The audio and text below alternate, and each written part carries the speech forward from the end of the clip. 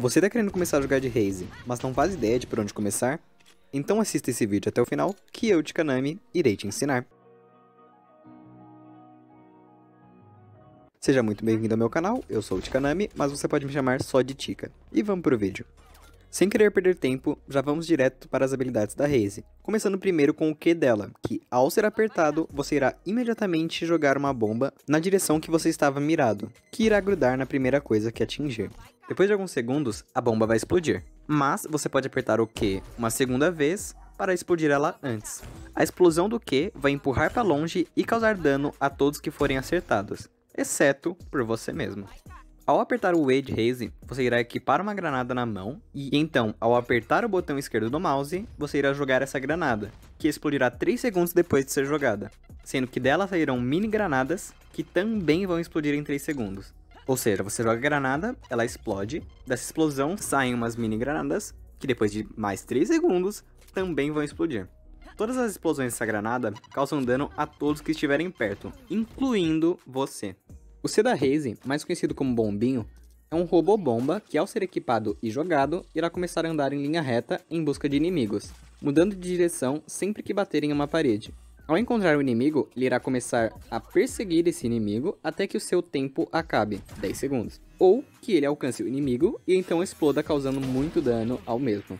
E uma observação, o bombinho pode ser destruído por inimigos. Então, se você joga o bombinho e eles dão tiros no bombinho, o bombinho morre. Por fim, a ultimate da Raze, seu X, que ao ser apertado, irá equipar uma bazuca. E ao apertar com o botão esquerdo, você irá tirar um míssil que explodirá ao tocar qualquer coisa, causando um dano gigantesco a todos os inimigos dentro do alcance da explosão. E uma observação é que, quando você apertar o X, você terá alguns segundos para atirar. Senão, a ult some e você perde os pontos de ult. Com relação a armas recomendadas para Raze, eu recomendaria que você pegasse a arma que você se sente mais confortável jogando, mas por experiência própria, ela se dá melhor com armas de médio alcance, como a Spectre, a Phantom e a Vandal. E agora vamos a 10 dicas para quando você estiver jogando de Raze. Começando com a dica número 1, que é você já deve saber disso, mas você pode usar o Q da Raze para subir em lugares altos, como as caixas no mapa Heaven. Use isso a seu favor para pegar os inimigos de um ângulo inesperado. Dica número 2. Se você estiver em uma luta próxima contra outras pessoas e suas balas acabarem, Jogue seu Q e imediatamente exploda-o na direção que a pessoa está. Às vezes era só isso que faltava para que você conseguisse matá-la. Dica número 3. É uma boa você usar seu Q para se locomover mais rapidamente ao apertar o X, para conseguir o melhor ângulo para atirar mais rapidamente. Dica número 4.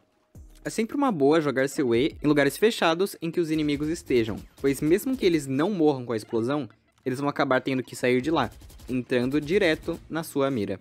Dica número 5. Evite jogar o bombinho em direções que tenham muitos inimigos, pois é provável que ele só seja destruído e tu tenha gasto ele à toa. Dica número 6. Se você não souber se tem inimigos em uma certa área, você pode usar o bombinho para descobrir isso. Se ele morrer ou ativar, significa que tem gente lá. Se não, ou não tem gente, ou eles se esconderam muito bem. Mas de qualquer forma, você terá desacelerado eles um pouco. Dica número 7. Uma coisa que você pode fazer também é jogar o bombinho e ir na mesma direção que ele está indo. Mas só faça isso se tiver apenas uma pessoa nessa direção. Porque dessa forma, a pessoa terá que decidir entre atirar em você ou no bombinho. Provavelmente morrendo, não importa que decisão ela tome. Dica número 8. Lembre-se que tanto sua granada do E quanto sua ult podem te causar dano. Então, evite usá-las perto de você. Dica número 9. No começo da partida, não importando o lado que você esteja, eu recomendo que você comece ela jogando seu bombinho em uma entrada e entrar junto com o seu time, para vocês já terem uma ideia de onde o time inimigo está e talvez conseguirem umas kills logo de início. Dica número 10. Nunca mire sua ult exatamente na pessoa que você quer acertar. Recomendo que mire no chão, abaixo dela, ou no chão na direção para a qual ela estava correndo. Assim será mais fácil de você acertar e, consequentemente, mais provável que ela morra na explosão. E é isso. Se tiver gostado desse vídeo, não se esqueça de se inscrever no canal para ver mais tutoriais como esse logo mais.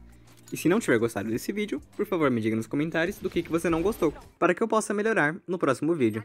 E antes de terminar o vídeo, eu queria agradecer a vocês pelo marco de 100 inscritos. Eu sinceramente não estava esperando atingi-lo tão cedo. Muito obrigado a vocês por todo o apoio que têm me dado até agora, e prometo trazer mais vídeos de qualidade para vocês. Muito obrigado, até a próxima e tchau!